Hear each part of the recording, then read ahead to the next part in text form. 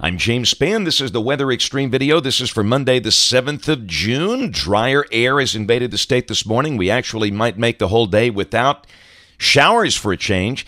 Let's look out the window this morning and look at that daylight out there at 5 o'clock. That's view coming from the Coleman Sky Cam. Sky's mostly clear. Uh, looks like we're getting set for a good looking sunrise there. That's coming from Inverness. Uh, top of the Wingate Inn, looking back over toward the east. And in uh, Fayette, pretty much the same sky there. Things are nice and quiet this morning. Here's the uh, big picture, and we've got the uh, uh, trough over the northeast, and that has helped to push a surface boundary through here. And uh, just maybe we'll make it through a day without having to deal with the uh, afternoon showers and storms. big convection way off to the west. There's a surface boundary, and you can see that front this morning, really below Montgomery. And the dew points will drop into the 50s today. That will feel much better. So we'll be awfully warm today, but the humidity value should be noticeably lower. There's a watch warning map. We've got uh, severe weather boxes up for parts of the southern plains. And there's a look at one of those watches. That's until 10 o'clock this morning. Nasty looking uh, mesoscale convective system, MCS, coming down on the Kansas Oklahoma border with a high potential for damaging wind with that. Uh, severe weather risk today from Salt Lake City, Utah, over to uh, Columbia, Missouri. Of course, uh, we're dry as a bone here. Tomorrow, the uh, risk continues well to the north of here, roughly from Denver back over towards Cincinnati and Indianapolis. And on day three, a couple of uh, slight risk areas, again, well to the north and west of Alabama.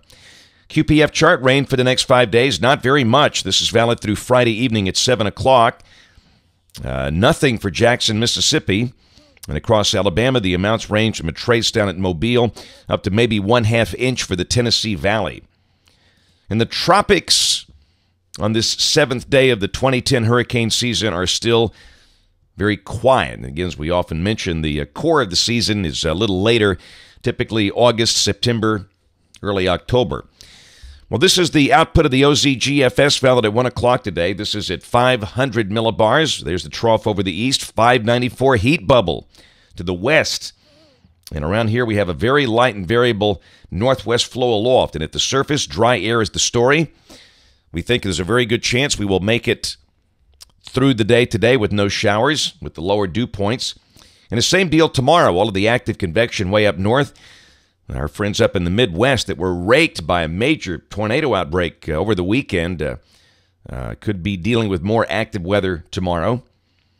Wednesday, moisture begins to return. We'll mention a small risk of an afternoon shower, but still widespread rain not likely. And Thursday, a little surface boundary tries to drop in here from the north. And that would suggest a, a chance of scattered showers and storms. That boundary stretching from a surface low well east of Long Island down through here. Yeah, there's little upper support for that. More than likely, this front will not make it. And there's Friday. Obviously, there's no support for a front. The, the big trough out west, we've got broad ridging in here. And down below that, the surface front just kind of fizzles out. And so, uh, so for Thursday and Friday, we'll mention your standard uh, risk of scattered, mostly afternoon and evening showers and storms. And Saturday, starting off the weekend, uh, the heights are awfully high. The 594 circle shows up uh, just southeast of here with a very uh, cold looking trough back over the west. And again, down below that, there could be enough moisture for a few scattered showers as we start the weekend, but nothing out of the ordinary. And the same thing on Sunday. And a week from today looks fairly moist.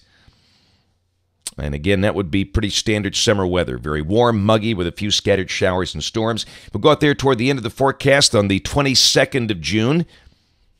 And again, the good thing, no nasty 594 heat bubble there. We've got, in fact, broad troughing over the east with ridging over the west. And again, that would suggest warm, muggy, chance of scattered showers and storms. You know that uh, forecast so well. That's it for the Weather Xtreme video today. We'll have notes on the blog. The next video by 3.30 or so today.